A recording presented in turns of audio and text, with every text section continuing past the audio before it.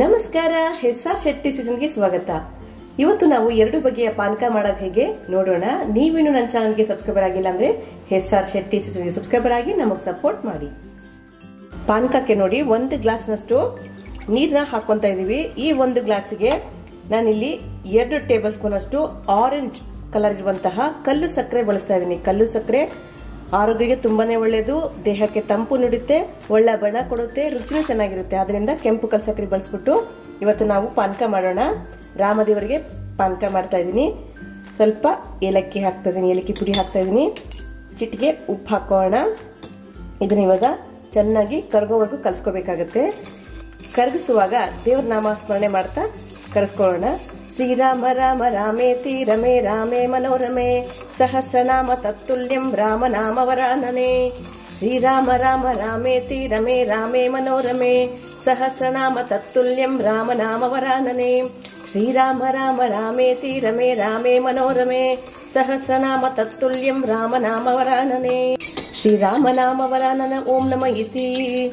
ಯಾವುದೇ ಅಡುಗೆ ಇರಲಿ ಕೆಲಸ ಇರಲಿ, ನಾಮಸ್ಮರಣೆ ಮಾತ್ರ ಮಾಡಿದ್ರೆ ತುಂಬನೇ ಒಳ್ಳೆಯದು ನೋಡಿ, ಇವಾಗ ಸಕ್ಕರೆ ಎಲ್ಲ ಕರಗಿದೆ ಒಳ್ಳೆ ಬಣ್ಣನೂ ಬಂದಿದೆ ನೋಡಿ, ಗೊತ್ತಾಗ್ತಾ ಇದೆಯಾ? ಇವಾಗ ಇದಕ್ಕೆ ನಾವು ನಿಂಬೆ ರಸ ಹಾಕೋಣ. ಇದರಲ್ಲಿ ಅರ್ಧದಷ್ಟು ನಿಂಬೆ ರಸ ಹಾಕ್ತಾ ಇದ್ದೀನಿ. ಈಗ ಕಲ್ಲು ಸಕ್ಕರೆ ಹಾಕಿ ಮಾಡಿರುವಂತಹ ಶರಬತ್ ರೆಡಿಯಾಗಿದೆ ಈಗ ಬೆಲ್ಲ ಹಾಕ್ಬಿಟ್ಟು ಪಾನಕ ಹೇಗೆ ಮಾಡೋದು ನೋಡ್ಕೊಳ್ಳೋಣ. ಇನ್ನೊಂದು ಗ್ಲಾಸ್ನಷ್ಟು ನೀರನ್ನ ಹಾಕೊಳ್ಳೋಣ ಇದಕ್ಕೆ ನಾನಿಲ್ಲಿ ಎರಡು ಟೇಬಲ್ ಸ್ಪೂನಷ್ಟು ಆರ್ಗ್ಯಾನಿಕ್ ಬೆಲ್ಲ ಬಳಸಿದ್ದೀನಿ. ಇದು ಇಲ್ಲ ಅಂತಂದ್ರೆ ಯಾವುದಾದ್ರೂ ಬೆಲ್ಲನೂ ಸ್ವಲ್ಪ ಕುಟ್ಬಿಟ್ಟು ಹಾಕೊಂಡ್ರೆ ಬೇಗ ಕರಗುತ್ತೆ. ಬೆಲ್ಲ ಹಾಕ್ಕೊಂಡಿದ್ದೀನಿ ಚಿಟಿಕೆ ಅಷ್ಟೇ ಉಪ್ಪು ಹಾಕೋಣ. ಅವಾಗ ಶರ್ಬತ್ತು ಚೆನ್ನಾಗಿ ರುಚಿಯಾಗಿರುತ್ತೆ. ಸ್ವಲ್ಪ ಮೆಣಸಿನ ಪುಡಿ ಹಾಕ್ತಾ ಇದ್ದೀನಿ. ನೋಡಿ, ಸ್ವಲ್ಪನೇ ಸ್ವಲ್ಪ ಇದು ಪಚ್ಚ ಕರ್ಪೂರ ಪಚ್ಚ ಕರ್ಪೂರ ಹಾಕೋದ್ರಿಂದ ಒಳ್ಳೆ ಘಮ ಇರುತ್ತೆ ರುಚಿಯೂ ಚೆನ್ನಾಗಿರುತ್ತೆ. ಸ್ವಲ್ಪನೇ ಸ್ವಲ್ಪ ಶುಂಠಿ, ಒಣ ಶುಂಠಿ ಪುಡಿ ಹಾಕ್ಕೊತಾ ಇದ್ದೀನಿ. ನೀವು ಬೆಲ್ಲ ಬಳಸಿ ಮಾಡುವಾಗ ಶುಂಠಿ ಪೌಡರ್ ಹಾಕಿದ್ರೆ ಒಳ್ಳೆಯದಾಗಿರುತ್ತೆ ಇದನ್ನು ಸಂಪೂರ್ಣವಾಗಿ ಕರ್ಗೋವರೆಗೂ ಕಲಿಸ್ಕೊಳ್ಳೋಣ. ಹರೇ ಕೃಷ್ಣ ಹರೇ ಕೃಷ್ಣ ಕೃಷ್ಣ ಕೃಷ್ಣ, ಹರೇ ಹರೇ ಹರೇ ರಾಮ ಹರೇ ರಾಮ ರಾಮ ರಾಮ, ಹರೇ ಹರೇ. ನೋಡಿ ಸಂಪೂರ್ಣವಾಗಿ ಬೆಲ್ಲನೂ ಕರಗಿದೆ. ನಾವು ಆರ್ಗ್ಯಾನಿಕ್ ಕಪ್ಪು ಬೆಲ್ಲ ಬಳಸಿದ್ರಿಂದ ನೋಡಿ, ಇದು ಶರ್ಬತ್ತು ಸ್ವಲ್ಪ ಈ ಕಲರ್ ಬಂದಿದೆ. ಇದಕ್ಕೆ ಇವಾಗ ಏಲಕ್ಕಿ ಪುಡಿ ಹಾಕ್ಕೊತಾ ಇದ್ದೀನಿ. ಈಗಾಗಲೇ ಅರ್ಧ ನಿಂಬೆ ರಸ ಹಾಕಿದೆ, ಇನ್ನೂ ಅರ್ಧ ಇದಕ್ಕೆ ಹಾಕ್ಕೊತೀನಿ. ಈಗ ಬೆಲ್ಲದ ಪಾನಕನೂ ಸಿದ್ಧವಾಯಿತು. ಇದನ್ನು ಶೋಧಿಸ್ಕೊಂಡು ದೇವ್ರ ನೈವೇದ್ಯಕ್ಕೆ ಇಟ್ಕೊಳ್ಳೋಣ.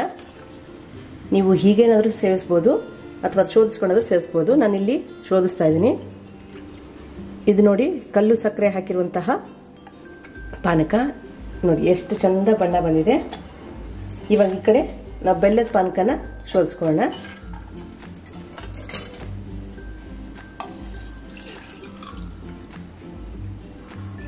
ನೋಡಿ ಇದು ಬೆಲ್ಲದ ಪಾನಕ. ಎರಡಕ್ಕೂ ಸ್ವಲ್ಪ ತುಳಸಿದೆಲ್ಲ ಹಾಕ್ಬಿಟ್ಟು ಭಗವಂತನಿಗೆ ನೈವೇದ್ಯ ಮಾಡೋಣ. ಶ್ರೀಕೃಷ್ಣ ಅರ್ಪಣ ಮಸ್ತು. ಈ ರಾಮನವಮಿಗೆ ನಿಮ್ಗೆ ಯಾವ್ದು ಇಷ್ಟನೋ ಆ ಥರ ಪಾನಕ ಮಾಡ್ಕೋಬೋದು. ಎರಡು ಬಗೆಯ ಪಾನಕ ಮಾಡೋದು ಹೇಗೆ ನೋಡಿದ್ದೀರಾ? ನೀವು ಮಾಡ್ಕೊಳ್ಳಿ. ಯಾವ್ದು ಇಷ್ಟ ಆಯಿತು ಅಂತೇಳಿ ಕಮೆಂಟ್ ಮೂಲಕ ನಮಗೆ ತಿಳಿಸಿದ್ರೆ ಮುಂದಿನ ವಿಡಿಯೋಗೆ ನಮಗೆ ಹೆಲ್ಪ್ ಆಗುತ್ತೆ. ಈ ವಿಡಿಯೋನ ನಿಮ್ಮ ಫ್ರೆಂಡ್ಸ್ಗೆ ರಿಲೇಟಿವ್ಸ್ಗೆ ಶೇರ್ ಮಾಡಿ. ಆರ್ ಶೆಟ್ಟಿ ಸೀಸನ್ಗೆ ಸಬ್ಸ್ಕ್ರೈಬರ್ ಆಗಿ ನಮಗೆ ಸಪೋರ್ಟ್ ಮಾಡಿ. Thank you